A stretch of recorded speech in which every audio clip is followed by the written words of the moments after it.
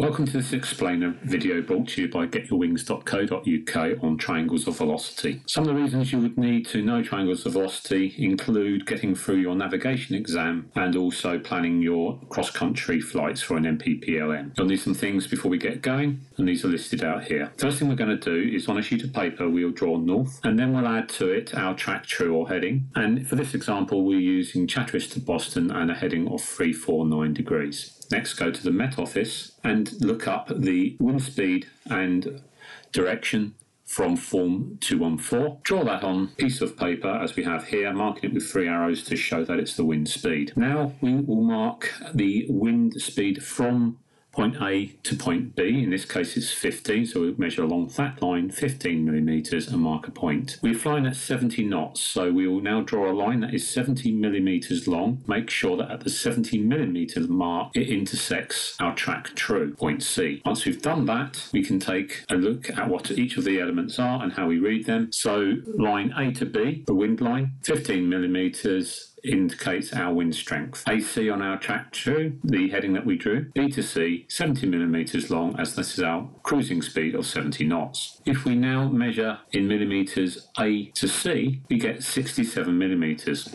Ground speed is 67 knots. If we measure the angle B to C, we will get our heading true of 336 degrees. The heading that we will need to fly in the air to offset the wind. And the drift angle we can calculate by measuring angle D, which is 13 degrees. And if we add the 13 degrees onto our heading true, we'll get our true track that we started with. I hope you enjoyed the video and found it useful.